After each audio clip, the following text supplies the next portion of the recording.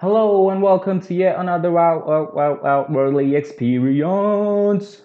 Okay, so in the previous video, what we talked about was how to set up your RageMP working environment for the branch 1.1, the current branch, the latest one. And if you still haven't seen the video and you do not know how to set it up, then I recommend that you pause this video, go back to the previous video and then come back. And I'm guessing you've now watched the video, so let's begin. In this video, what we're going to learn is about server events. What is a server event, you may ask? A server event is basically any event that is triggered when something happens in game. What gets triggered? A certain function gets triggered. So just like in the previous video, we made a server event. This event was when the resource starts. For the sake of this video, for the sake of this tutorial, I'm going to make two server events. The first server event would be when a player connects and the second server event would be when a player spawns or respawns. So to make a server event, this is how you should do. First, you need a square bracket open and close. Inside the square bracket, you need to write the attribute server event then we will open and close a normal bracket. Inside the normal bracket, we will write event dot player connected.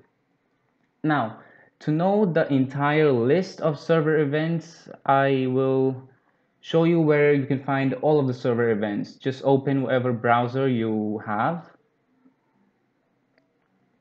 And then just Google RageMP so actually just write rage mp wiki. You'll have this wiki.rage.mp click on it. And on the left hand side there's a panel. And you can see over here there's written server side.net C sharp. What we need right now is the server side. So we will use all of the server events. Actually we will see all of the server events via this link. Just go to server first go to rage wiki.rage.mp then find the server event server side.net and then click on events. And here you have it. This is all of the list all of the server event list that you could use. So right now what we're going to use is on player connect so I'll click on it. And this is the attribute that we have just created in our code. Server event, event.playerConnected. Server event, event.playerConnected. Now, right after this attribute, there needs to be a function. That function is what will execute when the event happens in game.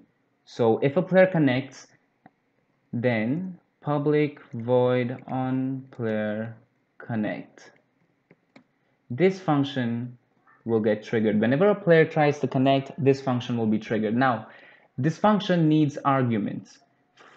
For resource start, we do not need any sort of parameters, but for on player connect, we need parameters. Now, to find out which parameters you need, just go back to the RageMP wiki and you will see over here there will be an example it's public void on player connected which is the function name and then the parameter would be the player parameter of data type client. Now this data type client is valid for version 0.3.7 but in case of 1.1 the client data type has been changed to player. So we will write the data type first which is player and then we will give a variable. I will just write the name of the variable, the identifier as player with a small p. Now, if you do not know what a data type is or what a variable is, then I recommend going through C Sharp lessons. You first need to be fluent with C Sharp. Now, keeping that aside, this is the basic signature of the function of the server event when a player connects, player connected. Now what we want to do is that whenever a player connects, we want to show the entire player base that so-and-so player has connected. So what we will do is we will send chat message to all. So NAPI dot chat dot send chat message to all and inside this function we are going to give the string uh, whatever string you want to so I'm going to format it so that it prints the name of the player. So what I'll do is this is the identifier the player identifier that is passed in the function.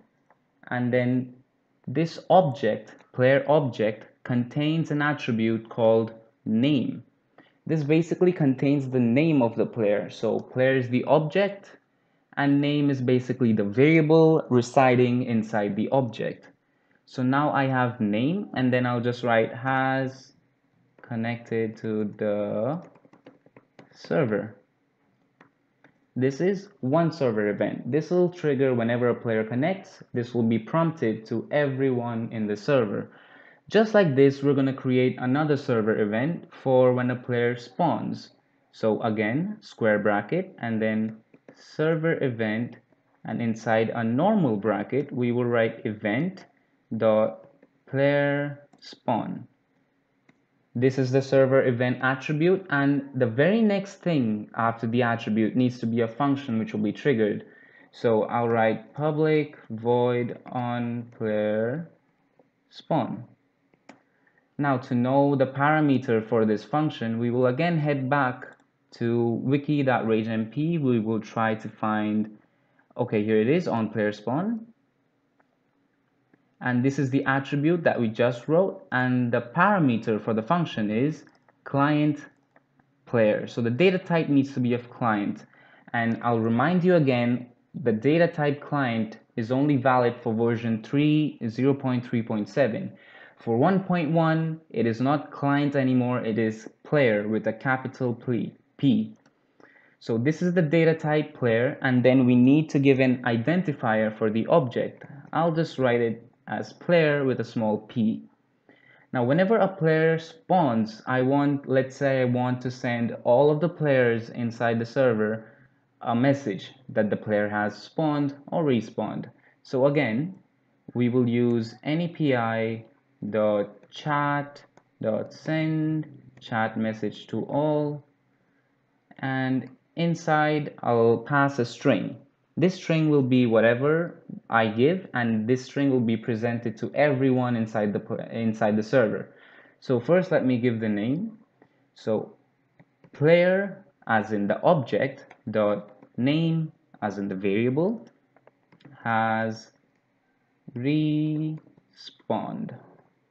and there you have it this is how you create basic server events with this you can create much more complex advanced things which I'll be showcasing or giving tutorials in further videos.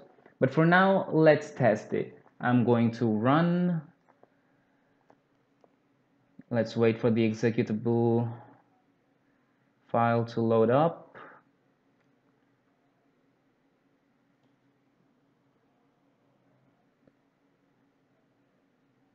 Ready. Let's see let me just pause it. And there we go our console has almost started. Since I have so many things active that's why it's taking so long to load. But just give it a little while it will pop up real soon. Now that the game mod has loaded over here you can see my game mod has started which was on the event on resource start my game mod has started. And then you can see these as well. Loading server events found three server events and loaded three server events. This is basically telling the programmer that the program has found three server events and has been loaded successfully. Let's head in game and see if it works. As you can see I have connected and it shows that Skylar Parker has connected to the server and Skylar Parker has respawned. And there you have it. This is the basic gist of server events. And if you have any questions, then leave a comment. If you learned anything at all from this video, then hit that like button if you want more tutorials about RageMP version 1.1 then subscribe and peace out